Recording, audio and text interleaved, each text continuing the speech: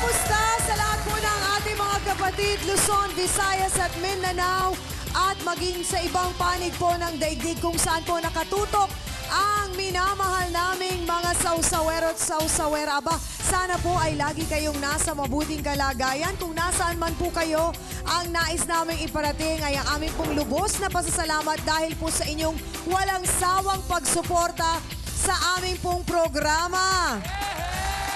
Ito po ang inyong inaabangang talakserye sa telebisyon at Barangay Hall on Air at ngayon po ay ginagawa ang lahat ng paraan upang lutasin po ang mga isyong pasakit po sa dibdib sa ilan po nating mga kababayan. Ako pa rin po ang inyong Chang Ami na lagi nagpapaalala kung may problema ka, harapin mo, pag-usapan natin yan.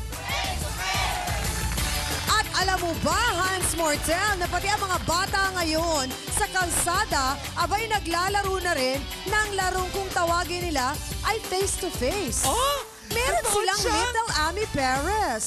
Wow! Oh. At merong little Becky na Hans Mortel. Oo, at may B1 at B2 din. Ay, ang ganda! Nako ha, kung totoo yan, nakakatuwa naman at talagang pong nakakataba ng puso. Ibig sabihin, talagang tanggap na tanggap ng Pilipinas ang ating programa, Chang Ami!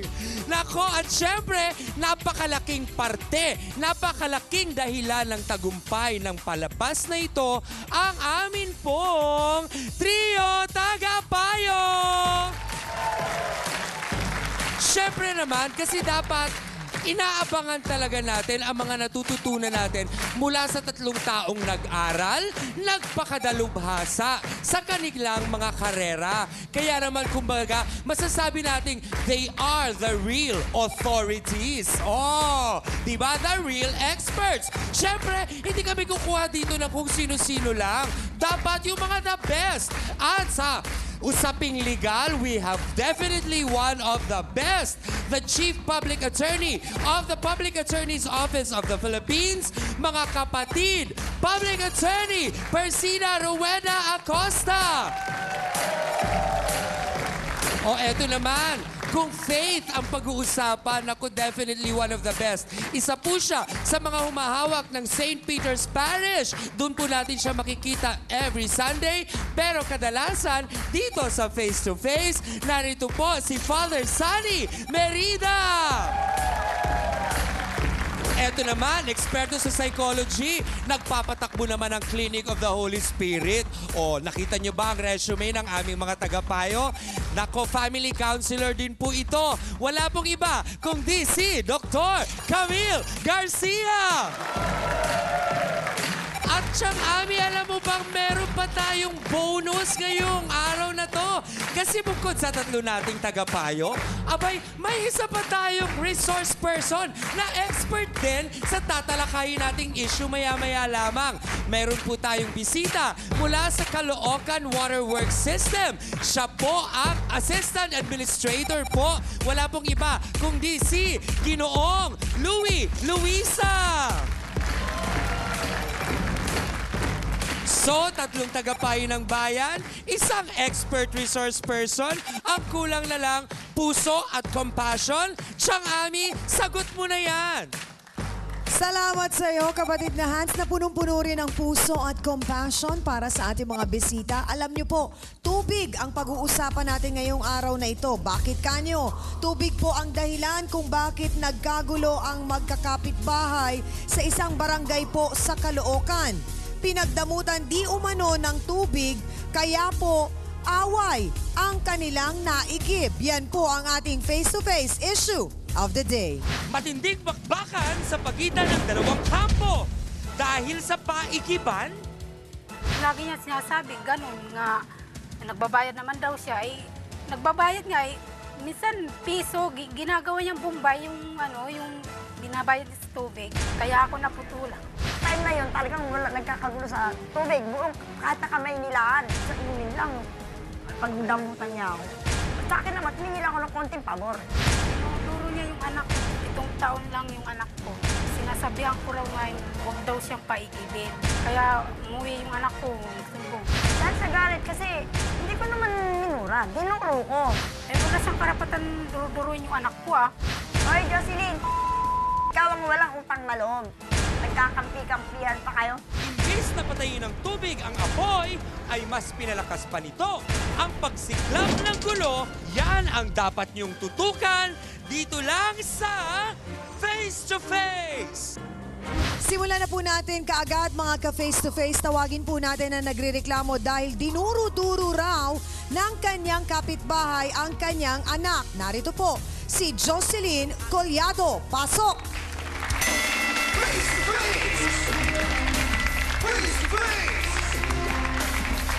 Ate Jocelyn, sino po yung sinasabi ninyong dumuro-duro sa anak ninyo?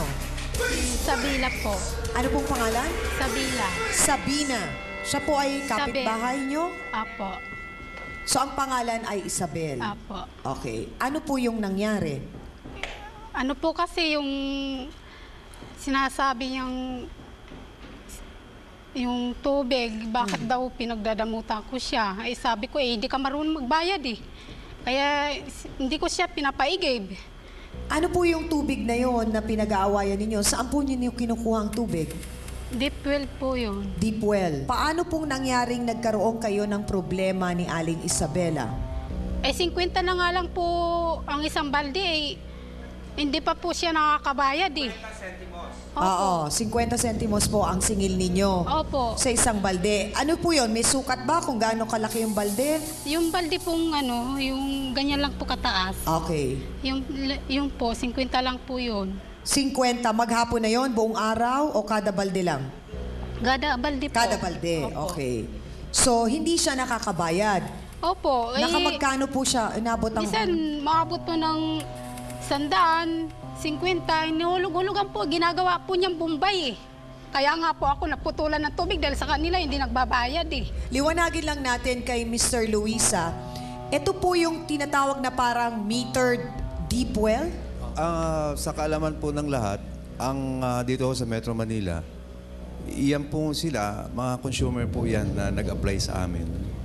Kaya meron ho silang uh, kaukulang binabayaran. sa- Magkano po yung ah, binabayaran nila? Ang minimum po na binabayaran, which is from 0 ah, cubic meter hanggang 10, 62, po, 62 pesos po. Mhm. 62 and 05 centavos. so legal ito, yung Legal mga po yan, deep legal well po. na Dimetro, kumbaga Ah, kung Dimetro po tawagin yan. nila. Um, Legal po ba yung ginagawa ni ah, Ate Jocelyn na ibinebenta niya at naniningil siya ng 50 pesos? Actually po sa patakaran po namin, ah, I'm bawal- sorry, 50 centavos po pala. Per balde. Oh, per balde. Wala ho kaming ah, itinatalagang ganung ah, pagbebenta sa pag nila. Basta yung patakaran po namin, bawal po yung pagpapaigib. Hindi ho para ipagdaho, ipagkait sa kanila, kundi para magkaroon sila ng pare-parehong karapatan na makakuha ng tubig doon sa mga legal na, na consumer, yung mga naka, nakarehistro So, sa amin. Mr. Luisa, yung ginagawa po ni Ate Jocelyn na nagpapaigib siya at naniningil, yun po ay bawal.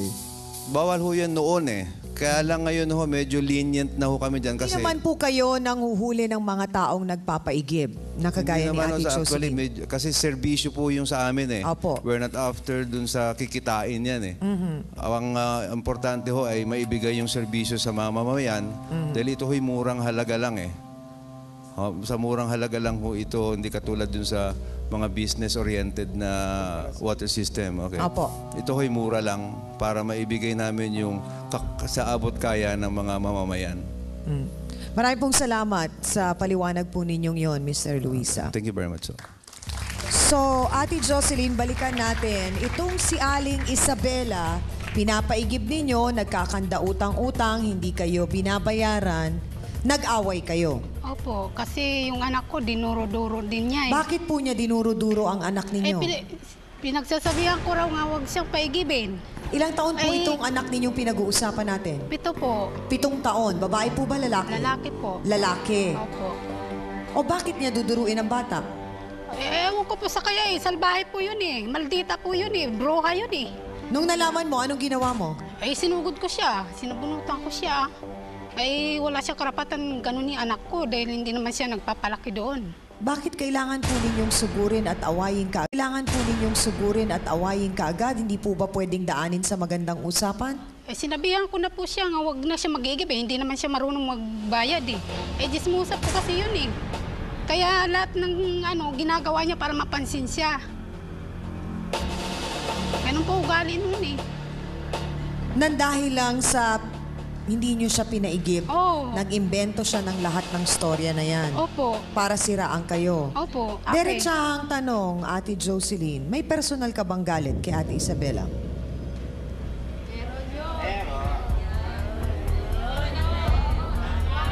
Meron po ba? Kasi dat dati po, magkaibigan po kami niyan. Matalik po ba kayong magkaibigan? Opo.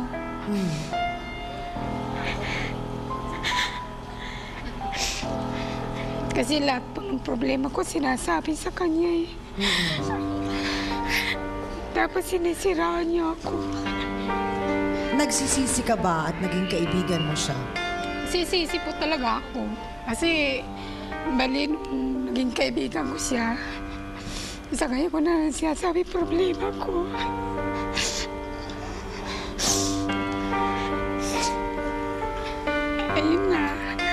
At yun ang kinasasama talaga ng loob mo. Mga kapatid, tawagin na po natin ang taong sinasabi pong nagkalat ng chismis at dinuro-duro pa nga daw ang anak ni Ate Jocelyn. Narito po, si Isabela Quintos. Pasok!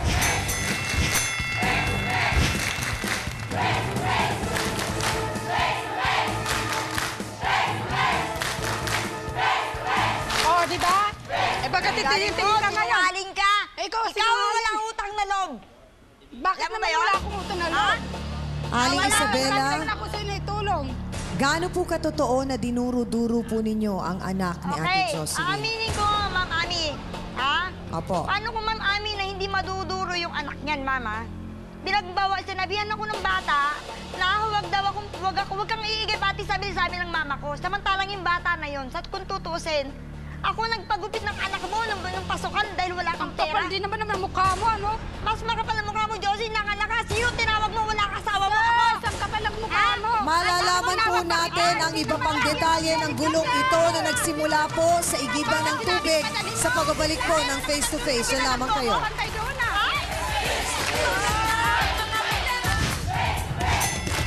Ang sinasabi po kasi ni Ate Jocelyn, naputulan sila. Oh, wow. Naputulan ka niya. Naputulan ka niya. Oh, May kasi isang wow! taon, di ba? Alam mo yun. Alam, isang taon yun, isang taon. Kahit, kahit saan tayo makarating. Oh, wow! Isang taon?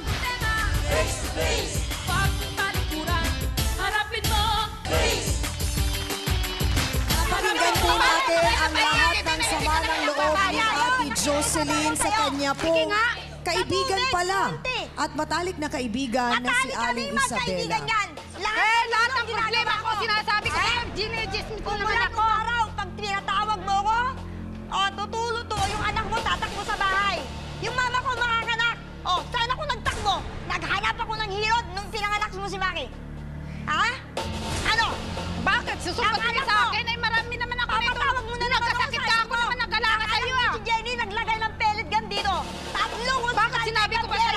dali mo Ano? doon? Eh, andun naman yung anak kong Ano panganay. ginagawa mo? Ah, anak! Ano pinatawag mo ako? Aling Isabela, sandali lamang po. Bago po tayo magsumbatan, balikan lang po natin ang issue. Ang issue po dito ay ang tubig. Opo, ma'am. Kaya Gaano ma'am, po katotoo na dati po kayo ang namamahala nung deep well totoo na ma'am yon? yan, eight years, ma'am, akong namahala. Bakit po tinanggal sa inyo? Hindi man tinanggal kasi ma'am, sa 8 years no na yon, yung bahay nung Rose na best friend niyang sumusulsul sa kanya, simula sa Rose na bahay, junk shop hanggang dito, ako ang taga-tabas ng damo niyan, umulan, umaraw. Kaya kami napunta, hindi kami pinalis, Josie. Nung, nung ikaw ang naging caretaker, ano sabi mo sa akin, Josie? At Isabel, nung naging caretaker ka dito, paano ba gagawin ko? Hindi ba lahat tinulong ko sa'yo? Sinungaling Ako ay sa akin, Josie, ang pinag-awayan natin. Aling dahil Isabela, sa tubig. ano po ang unang-unang pinag-awayan ninyo bukod sa tubig? Ma'am. Tubig lang talaga. Sa tubig lang, ma'am. Okay. Bakit po sa palagay ninyo pinagbawalan kayo na umigib doon? Kasi Ano naman pong sinabi niyang dahilan? Hindi ko nga maintindihan kung kung bakit kasi ba't naging Eh, ganyan hindi ko naman ugali nagbabayad niya eh. kaya hindi kita pinabayad, di ba? Diretsa ang tanong, nagbabayad po ba kayo? Nagbabayad, ma'am. Kung tutusin, ma'am, sa minimum na 60 o 60 plus count nyo na, ma'am, na minimum lang ng dipwell. Sa isang araw o pangalawang araw, 30 pesos o ano, sa loob ng isang linggo, ma'am, sa isang buwan, magka, nakakamagkano? Di ba? Sobra-sobra pa. Mas may na, pangbibili pa siya ng sobrang kikitain sa pambayad sa tubig. Hindi ah. Eh, ginagawa mong Bombay, paano ako makakabayad naman ng tama Sinungaling nun? ka, Josie. Wag mo akong ganyanin. Eh, nako, ikaw ang Ang sinungaling! panganay. Ikaw ang sinungaling! hindi Ang ako sinasabi po kasi ni Ate Jocelyn, naputulan sila. Oh, wow. Naputulan ka niya! Naputulan ka Bago niya! yun. Oh, wow! May kasi isang taon, di ba?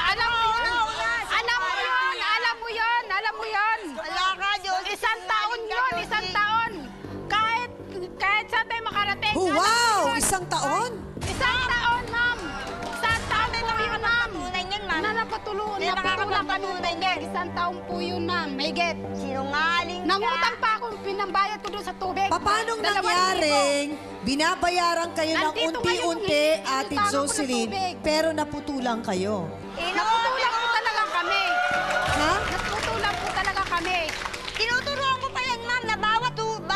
Hindi kaya nagastos mo ang pera? Hindi po. Ah, Paano ko naman po gagastusin eh?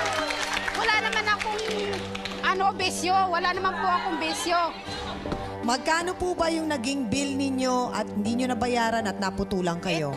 800 po. Magkano? 800. Ay, anim na po ang Ito, po. ma'am, pwedeng magsalita, ma'am? Apo. Kung bakit, ma'am, dati, nung una, nakakaigib ako. Nung bandang mga ilang ano na, eh na nga, ma'am, nadut-dut ko yung anak niya. Kasi sabi, wag ka na ikaw magiging, sabi ng mama So ko. inaamin po ninyong nadut-dut nyo ang Oo, bata? ma'am, nagulat ako eh. Bakit na hindi na niya ako paiigibin sa matlang Eh pero temporary mali lang po naman? yun, Nagbabayad ginawa po eh. ninyo. Kasalanan ko, ma'am. Kaya lang ang pagkakamali ko, aminado ko.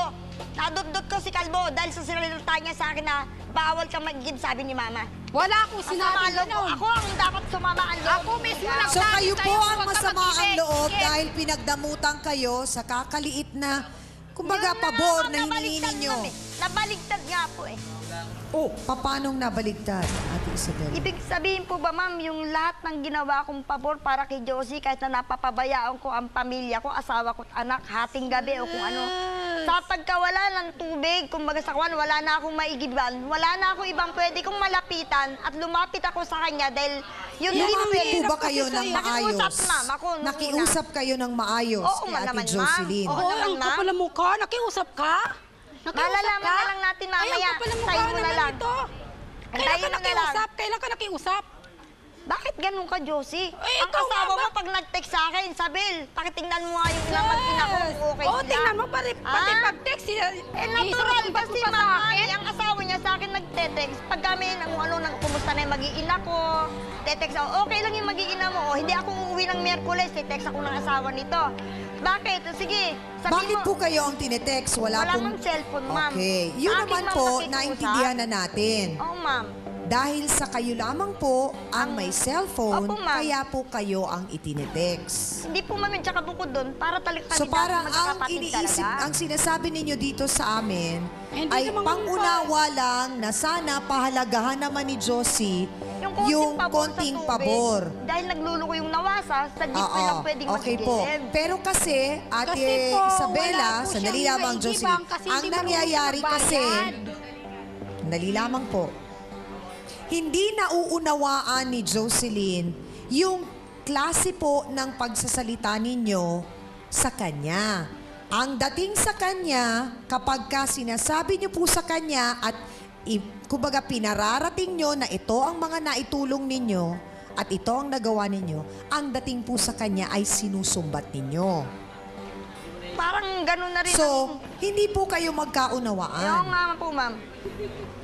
So hindi po ba ninyo sinubukan na mag-isip ng ibang paraan para mabigyan ni Ate Jocelyn ng pagpapahalaga yung, Yung di naman po mga bagay na naigawa niyong naitulong niyo sa kanya na hindi rin naman po niya inihingi sa inyo. Yun po ay binigay niyo at po niya inihingi sa inyo. Yun po ay binigay niyo at ginawa ninyo ng sa kagustuhan po ninyo. Tulong. Tulong.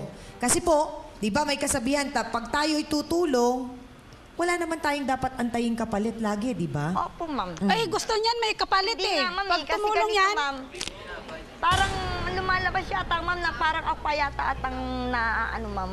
Kasi, ma'am, hindi ko naman, ma'am, na, hindi ko na, ano, ma'am, yung nangyayari sa kanya. Ito, ma'am, halimbawa, biglang tatakbo yung anak niya sa akin. Opo, narinig ko na po ang kwento na Ayun na yan. nga, ma'am, eh. Na Bakit- merong pellet dito sa tenga, di ba? Oh, ma'am, ako nagdala Kayo sa nagdala sa ospital. Okay po. Pinatawag niya ako noon. Opo. Tumulong ako, ma'am. Opo. Pero yun naman po ay kagustuhan nyo. Pwede kayong Opo, umindi. ma'am. Opo, ma'am. Pwede po kayong humindi noong pagkakataon na yun. Pwede mong sabihin dun sa bata, sorry. ma'am kayang maghindi, ko- ma'am, eh. Oh, yun. Dahil ako nabilinan din, ma'am, ng asawa niya kasi natingnan-tingnan ko sila. Okay pag nga nasa po. trabaho. Yun po ang ginagawa po ninyo. Opo, ma'am. Nagmamagandang loob kayo. Opo, ma'am. So ngayon, ang ikinasasama at ikinasasakit ng loob ninyo, matapos ang lahat ng magandang loob na yon na ginawa po ninyo para kay Ate Jocelyn, sa kakapiranggot na tubig, ipinagdadamot pa niya. Opo, ma'am. Nakakaigib naman ako dati sa kanya. eh. Nung simula Okay. nung lumabas ang nawasi. Sige po, sandali lang. Nasusunod So Ate eh. Jocelyn, bakit kailangan ipagdamot mo ka? ng ganon? eh di nga po marunong po siya mag magbayad eh. So ang... At saka ma- madaldal po kasi yan eh. Kaya ayaw ko pa igibin eh. Ang ilan, daldal ka lang. Kung anong masilip doon sa bahay ko, yan, dadaldal Magkano ang niya. utang niya? Yung hanggang ngayon, yung hindi ba yan, magkano? 20 Magkano? pesos. 20 pesos, 600. 600 po. Hindi hinuhulugan? Hin- Yung walang iba po, ginagawang Bombay. 600 Ma'am, umabot. kasi nungalingan na po yan, ma'am. Ma'am, kasi nungalingan na po yan, ma'am. May witness, ma'am, ako. May kasama akong witness sa asawa ko para mapatunayan Po sinungaling. yan. Sa punto pong ito, tawagin natin ang nagsumbong na dinuro-duro daw ni Ate Isabela ang anak po ni Ate Jocelyn. At dahil dito, nadamay na nga po siya sa gulo at binato at nabasag pa raw ang kanyang bintana. Narito po si Ate Rose Tambalo. Pasok!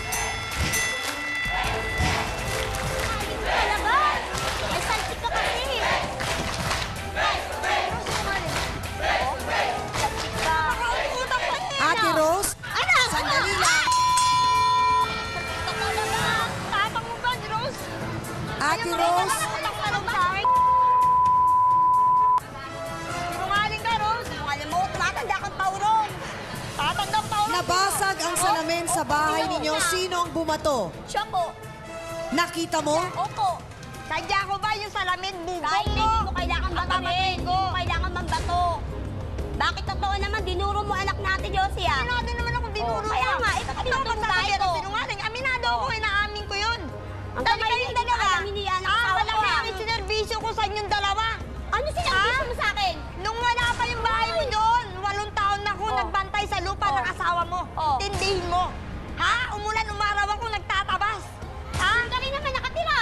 Oh, Asan? Saan ako nakatira? naman dun, ah. Oy! Mm. Libre tira. Oh, Pero umaga maghapon, nagtabas-tabas ako.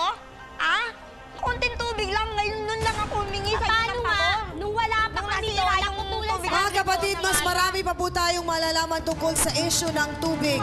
Huwag po kayo maglilipat. Magbabalik po ang nag-iisang talakserye sa telebisyon, ang Face to Face. Sama-sama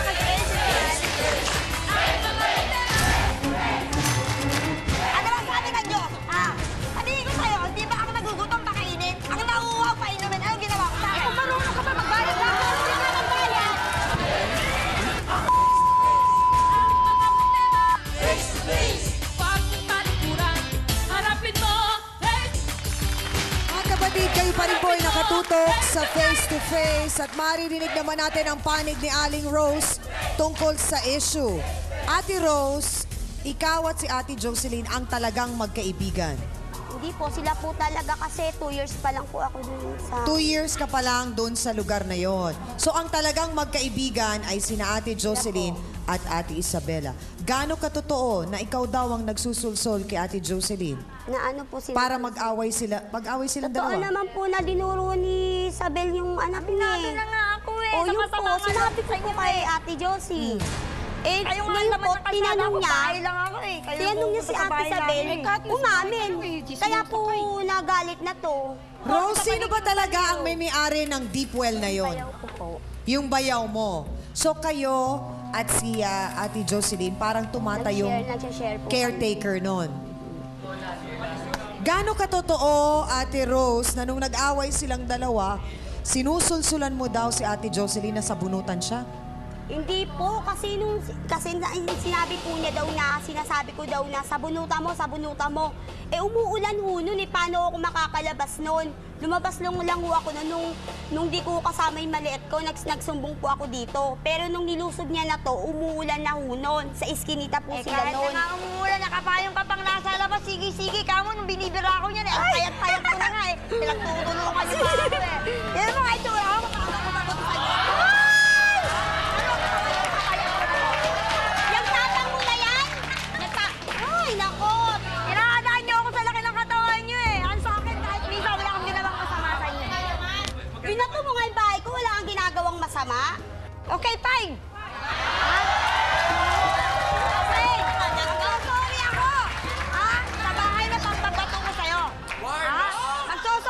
sa'yo.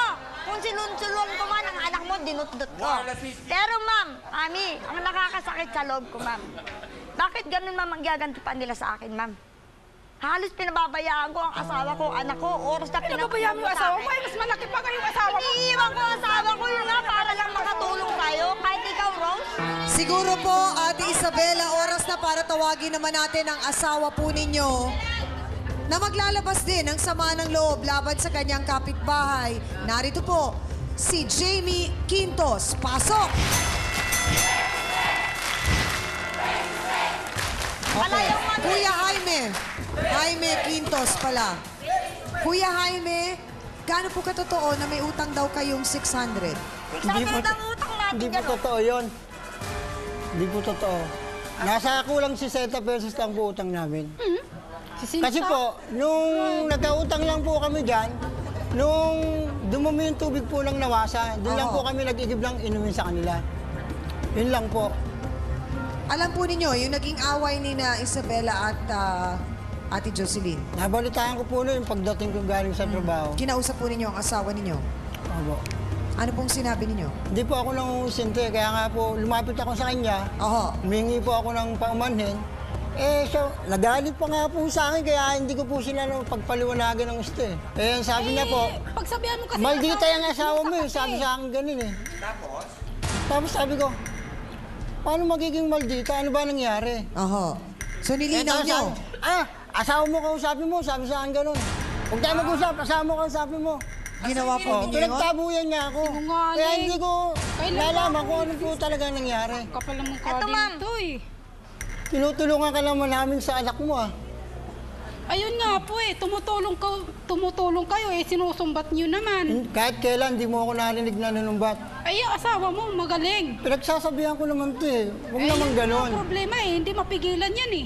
Eh, mapigilan na niyo ako. Pag wala yung asawa ko, tinitira niyo ako ng tinitira Oo, eh. talaga? Pag may bibigin lang ako Oo, talaga? tatlo-tatlo pa kayo eh. Hindi lang talaga eh. Mga kapatid, tawagin naman natin ang magpapatunay na sablay at hindi marunong magbayad sa tamang oras. Ah, pa, isa. Si Ate Isabela. Narito po, si Marigold Magdua. Pasok!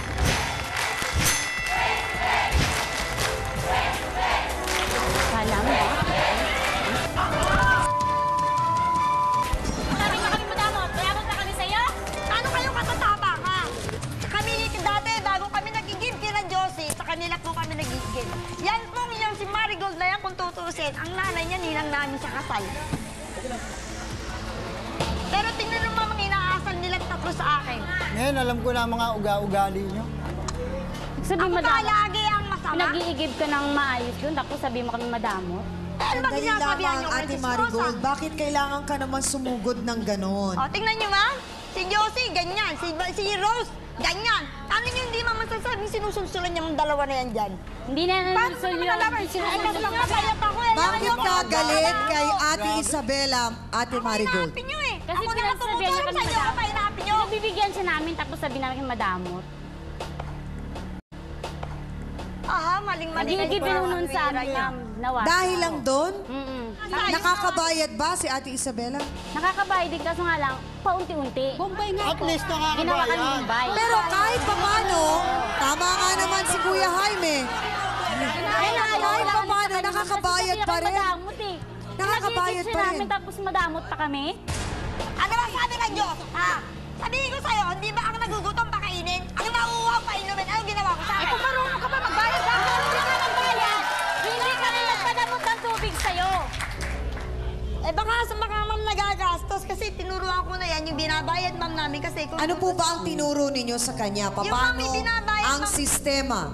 Halimbawa, si, kasi pag nagigib kami, halimbawa, mga 20 timba, di 20 pesos yun, ma'am. Oo. Pero bago kami nasundan yun, tatlong araw, dalawang araw ulit bago ka mag-igib, eh, kami mag-igib. Apo. Ngayon, ma'am, yung 20 pesos na yun, ang sabi ko, para man maipon niya, ma'am, na yung pangdagdag sa bayad, niya, ano, bago niya, tabi niya. Tapos sa susunod ulit, kung halimbawang nagkautang man ako sa kanya, ipunin niya lang niya, ilista niya lang niya, ma'am, yung mga, yung mga utang namin sa tubig. Pagdating ulit ng Sabado, ba, Babayad kayo na- ulit. Babayad ulit, itago niya ulit sana. Oo, Kaya talaga? kami, ma'am, wala naman kaming ano sa tubig sa kanya. Wala kaming Babayad ka kasalanan. lagi? Nagkautang man siya, ma'am, maputulan man siya sa tubig niya, wala kaming ano, ma'am.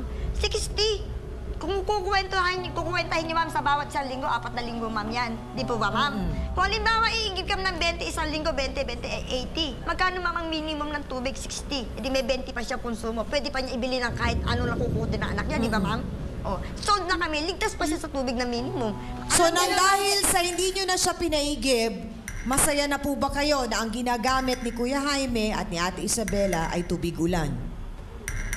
Panlaba, panghugas ng plato, po panligo. Pag po yung tuwan-tuwa kami yung sa drum amin namin. namin Nasahod sa ano binabayaran. doon. Napilitan Pag lagi kami. Hindi naman umuulan mineral yun, ah. water, Hindi yun naman lang kayo nakakasahod ginagamit ng namin maraming kung saan ulam. kami makakaigib ng Lagi inumin. naman kayo gigib.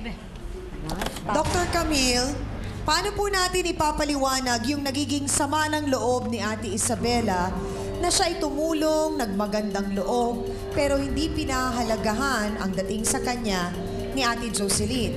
Pero ang dating kay Ate Jocelyn, ang lahat ng pagtulong na yon na ginawa ni Ate Isabela ay pinamumuka sa kanya at isinusumbat. Bakit kaya ganun? Alam mo, ah, meron tayong tinatawag na kumisan, ano, hindi natin maaalis na pag maging, naging magkaibigan kayo, ang hinahanap nyo, kahit pag nag-away kayo, eh yung kamalian ng bawat isa. Yun yung fault finder. Unfortunately, lalo po nadadagdagan yung mga ginagawa nyong kamalian dahil kasi ni hindi kayo nag ano, puro dakdak ho ng dakdak, imbis ho na talagang makinig ang nangyayari ho, dakdak lang ng dakdak, nakikinig, uh, maaring nadidinig niyo po, pero hindi niyo inuunawa ang isa't isa, kaya nagkakagulo-gulo ho. Eh, Imbis na, sabi niyo nga, madamot. Paano naging madamot? Dahil kasi pinagkait, tubig. Eh kung magbabayad naman, tapos ayaw niyo pa pala ng ganong klaseng pagbabayad dahil masyadong konti. Di in the first place, hindi na lang sana kayo nagpaigib ng tubig kung na alam nyo na si Aling Isabela ay sobrang ano, yung mabagal magbayad. So para ang lumalabas, hindi sila nagmamagandang loob, kundi nininegosyo nila ang tubig. Bukod sa ninegosyo nila, pati sila, binabaya, parang kailangan to earn my loyalty. Parang ganito, merong kabayaran yung lo- Alam niyo, sa isang sa magkakaibigan kasi, ang pagiging loyal, hindi po siya, ano, hindi po siya binibili. Ine-earn po yung pagiging loyal friends. Attorney? Nais ko lang sanang iayos ang perspective ng lahat. Kung sana libre, yung tubig ni Ate Jocelyn, wala siyang obligasyong bayaran yon. Aba, may moral obligation si Ate Jocelyn na huwag niyang obligahin si Ate Isabela na magbayad. Eh nagiging punto ng away dito gulo, yung hindi makakope si Ate Jocelyn sa hurnal, sa hulog dahil nga laging delayed si Ate Isabela. So sa tingin ko, dapat kung iigib ka na isang balde, o eto yung 50 centimos. Igib uli, o eto 50 centimos. Walang nga lahahabang ah, listahan ng dami ng igib. Pa 50 na yan. Eh, ay ano mo. Kaya, kasi ang perspective dito para bang lumilitaw. May obligasyon si Ate Jocelyn na ilibre na ang tubig ni Ate Isabela kasi marami siyang utang na loob dito kay Ate Isabela. Paano naman yung panghulog ni Ate Jocelyn? Katarungan tayo. Bukod sa pagiging magkaibigan, hindi negosyo yun eh. Ang iniintindi doon yung hurnal, sir, di ba? Yung hurnal, yung hulog na dapat bayaran ni Jocelyn kapag pag hindi na bayaran, putol si tubig. Mga kapatid, mga kausap na po ng ating mga panauhin ang ating pong trio tagapayo at bibigyan po sila ng karampatang advice base po sa kanilang issue at consultation na naghahangad po ng resolusyon. Huwag po kayong bibitiw at babalik po ang face-to-face. Sa hukuman man, ang dila ng tao ay katumbas ng buhay at kamatayan. Kapag magaling ang testigo, kahit nakagawa ng krimen ang akusado, napapawalang sala. Pero kung di magaling ang testigo, nakukulong at nabibitay ang isang tao. Ami parents would like to thank the following Dr. Steve Bart Gunn of GAOC Dental Clinic, Philip Stein, Face and Figure, Skin Glow by GMAX, Salon de Manila. Hans Mortel would like to thank Dr. Money and Pai Kalayan. Face to Face would like to thank the following AXN Diamond Sport Shades, EC27 Guava Plus Organic Soap, effectively controls 27 skin problems. Ludy's Peanut Butter, a tradition of nutrition. F101 Direct Sales Apparel and Shoes. Kape Alerto, alerto ka sa isip, salita at sa gawa. Home Appliances by Minami, galing ng quality. Placenta by Sam.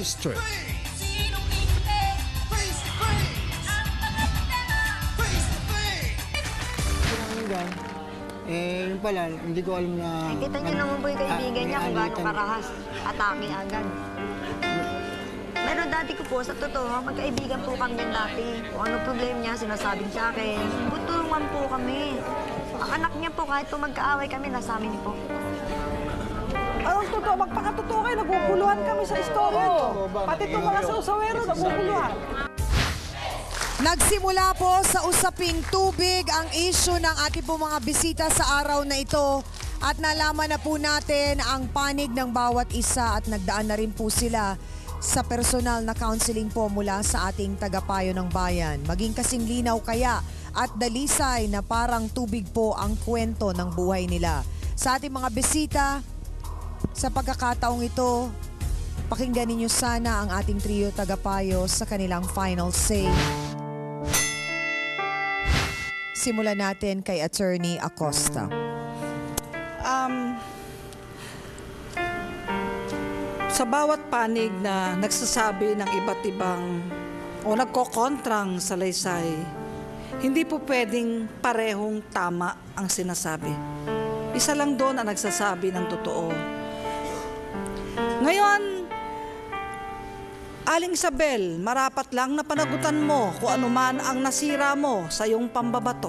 Opo, ma'am. Babayaran ko, ma'am, yung salamin na nabasag. Hulugulugan mo, bayad-bayaran mo, sapagkat yon ay pananagutan mo kagaya ng paghuhulog mo sa sinasabing tubig na iyong naigib. At ikaw naman ay humingi ng tawad dito kay Jocelyn dahil sa nagawa mong panduduro-duro sa kanyang anak.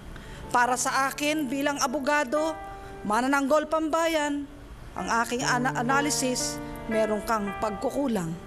Mas magaling ka kasing magsalita at magpaliwanag kay, kay sa kay Jocelyn.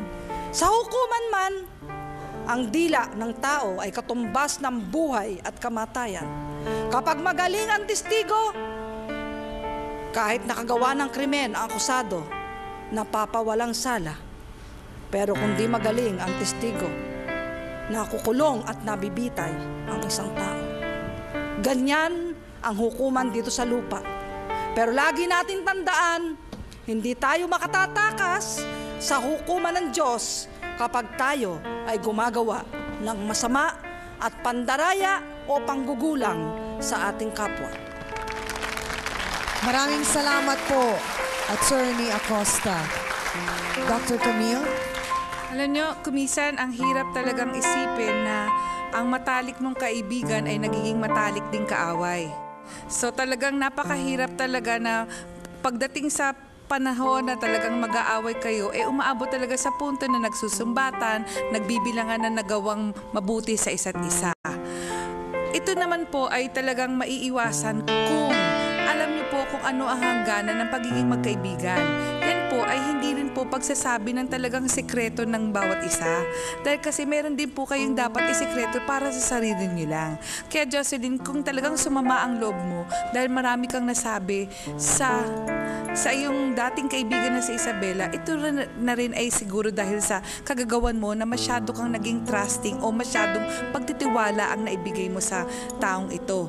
Yun lang po yung dapat nating intindihin na at yung pag-uunawa na kung kayo po ay nakando sa lugar na pare-parehas lang po kayo na merong in, nag-iigib at nagbabayad, dapat lang po na kung sakasakali man merong gagawa ng ganito na magbibigay kayo ng tubig at talagang nag impose kayo ng pagbabayad, i-impose nyo na talagang yun po ang inyong regulasyon, yun ang reglamento nyo. Kesa po talagang abusuhin kayo ng mga taong akala nyo ma- na porke nagbigay kayo, eh talagang magbabayad ng konti, paunti-unti, tapos nagkakaroon ng ganyang problema para ho maiwasan talaga ang problema. Kayo po ang mag-set ng inyong rules para sa ganun, hindi po talaga aabot sa ganito na talagang mag-aaway kayo, magkakalokohan kayo, magkakadayaan kayo. Yun lang po. Maraming pong salamat, Dr. Camille Garcia. Reverend Sunny? Walang bayad ang paggawa ng Panginoon ng hangin, ng tubig, ng lupa. Doon din sa Genesis, sinabi naman ng Panginoon, pamahalaan ninyo ang lahat ng bagay sa mundo. Doon pumasok ang hindi na libre ang lahat dahil ang tao po ang gumawa ng pamamahala. So gusto ng tao na siya ay ah, kumita, gumanan siya, doon na pumasok na hindi na libre ang lahat ng bagay dito sa mundo. Diba? So dahil hindi libre ang tubig, dahil babayaran din, pumasok din ang tinatawag nating katarungan o hustisya. Kung ano ang, ang dapat bayaran ay bayaran. Ngunit ang punto po rito ay hindi na sa hustisya dahil sinasabi sa English, where justice ends, charity begins. Dito narito tayo sa face to face upang ibahagi dito sa atin ang aral na binigay ng Panginoon. Ano ang binigay ng Panginoon? Magmahalan tayo. Ang pagmamahal po ay hindi makasarili. Ang pagmamahal po is altruistic para sa iba, hindi para sa sarili. Maraming pong salamat, Reverend Father Sunny Merida. Nakakalungkot isipin, Ate Jocelyn at Ate Isabella, na yung maganda ninyong pagkakaibigan nga ay nasira ng dahil sa mga nangyaring naging pagkukulang ninyo sa isa't isa dahil nga sa nag-away kayo ng dahil sa tubig. Hindi ba? Hindi nagampanan ni Ate Isabella ang kanyang obligasyon sa pagbabayad, nagkasiraan na, ang dami ng masasakit na salitang sinabi at nabitawan. Itatapon nyo na lang ba ng ganong-ganon ang pagkakaibigan ninyo? Nasabi nyo nga kanina, halos magka- magkapatid na ang trato ninyo sa isa't isa. Ate Jocelyn, Ate Isabella, Makikipagbati ako dyan. Kasi ma'am, parehas man kami layo sa bagong silang eh. Ang baga sa kawan eh, siya wala rin kapatid, ako walang kapatid. Oo. Isa lang kami sa bagong silang. Ang ano ko lang ma'am sa kanya, kung tutusin kami talaga magkaibigan. Kaya lang, kung magkaroon man siya ng ibang kaibigan, na ipapalit niya sa akin, wag siyang magpapaano na lang ng mas kung susunod ba ganun ma'am. Kasi yung anak niya ma'am, parang anak ko na rin ma'am. Ate Jocelyn, Yung bintana, ma'am, na nabasag kay Rose, sa'yo, Rose.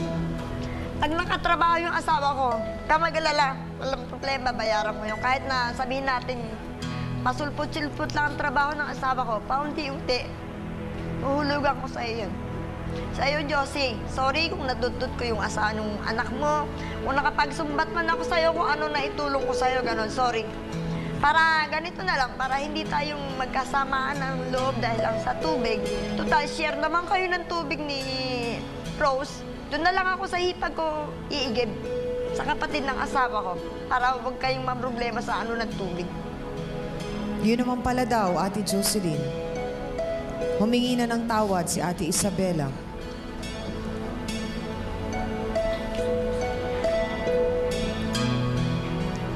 Pasensya ka na rin.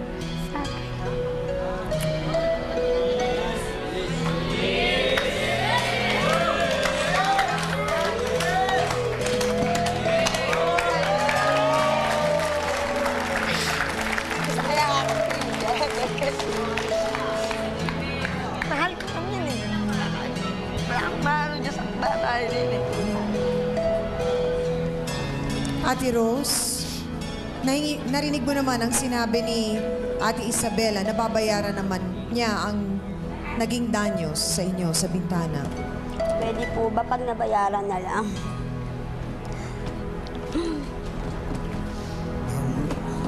Hindi ko pa. Hindi mo pa siya kayang patawarin. Pag nabayaran na lang, tsaka mo siya patatawarin. Baka pa lang po. Baka pa lang. Ako, ako na magba- maghuhulog nun. Para matapos na yan. Ikaw ang kausap ko, Oo. hindi na sa Isabela. Oh, para wala nang sakitan. Mananakit kayo eh. Rerespetuhin namin ang desisyon mo, Ate Rose. Maraming salamat. Amina na po tayo, mga kapatid. Anong aral po bang naisituro sa atin ng issue sa araw na ito? Ang tubig po ay isa sa pinakamahalagang biyaya sa atin po ng may kapal. Ito po ay para sa lahat. Nilikha ito upang makapawi po ng uhaw, makapaglinis ng anumang madumi at makapagbigay ng buhay sa ating lahat. Subalit, nakakalungkot sabihin na dumating po sa pagkakataon na ang magkakapitbahay na ito ay nagkaroon ng pag-aaway ng dahil sa tubig. Nagbatuhan pa ho sila ng mga galit at sama ng loob at nawalan tuloy ng saysay ang tunay na halaga po ng tubig. Ang tubig na pumapatay sa apoy ang naging mitsa naman po upang magningas ang awayan nila. Sana po ay lagi nating pairalin ang pagkakaintindihan at pagiging mahinahon po sa lahat ng oras. Hindi po maayos ang problema kung tayo po ay sugod lang ng sugod at nakikipag-away palagi at nagsasambit po o nagsasabi ng mga masasamang salita. Mas mainam po kung ito ay upuan natin at mag-usap ng maayos. Isang bagay rin po na dapat na bigyang halaga sa issue ay ang tungkol po sa pananagutan. Bayaran po natin sa tamang panahon ang mga dapat bayaran. Tulad na lamang po ng tubig na ating pong nakukonsumo nang sa gayon po hindi po madala yung ating pong pinagkukuhanan ng anumang ating pong kailangan sa pang-araw-araw. Ang bawat tao po ay may pinagdadaan ng krisis sa buhay. Partikular po sa ating mga bisita ang problema sa tubig. Sana rin po matuto tayong maging mapagbigay at matulungin sa ating pong kapwa. Tandaan po natin na sabi nga, sharing is a blessing.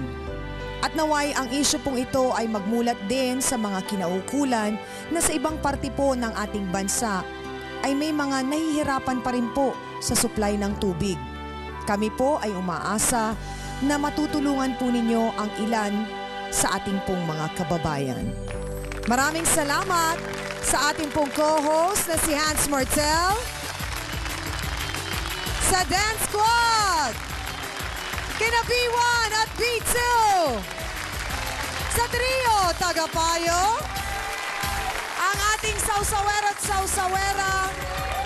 At ang ating pong espesyal na bisita mula po sa Caloocan City Waterworks System at higit sa lahat sa ating mga panauhin na nagbahagi po ng kanilang kwento at nagtiwala po sa ating programa.